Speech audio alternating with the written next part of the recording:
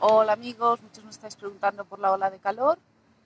Queríamos entonces clarificar los cuatro sucesos más habituales de ingresos masivos en general de aves que tenemos al año.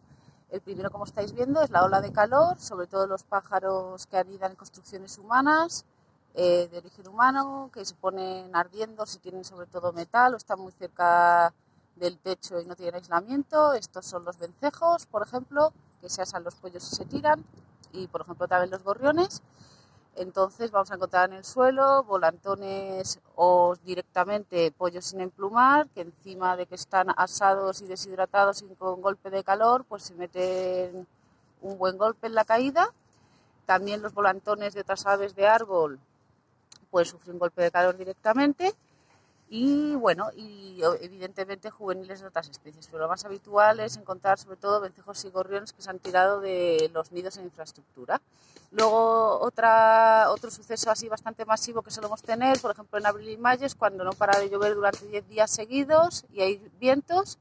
entonces los primeros pollos de temporada pues acaban mojándose en el suelo y también suele ser un aluvión masivo de avisos. Y luego dos ya de origen humano no meteorológico, tenemos la pirotecnia, como sabéis, no solo afecta a perros y gatos y a personas que también lo sufran, sino eh, a adultos y pollos que van a sufrir un terror y se van a chocar, se van a tirar del nido y podemos encontrar también bastantes fallecidos en el suelo en muy mal estado, que les hayan dado, por ejemplo, microinfartos o completos directamente infartos. Y el cuarto tipo son las podas indiscriminadas en época de cría, Sabéis que no se puede podar en época de cría ningún árbol y mucho menos tirar nidos y dejar a los pollos en el suelo. Esto se suele hacer en zonas municipales eh, de parques y jardines, puesto que no se incluyen los pliegos de los contratos, estas especificaciones, cuando debería ser así, puesto que está prohibido, insistimos, y por particulares que les dé lo mismo lo que pase con los nidos, los huevos y los pollos. Siempre recordar que en el caso de las podas tenemos que grabar a los operarios,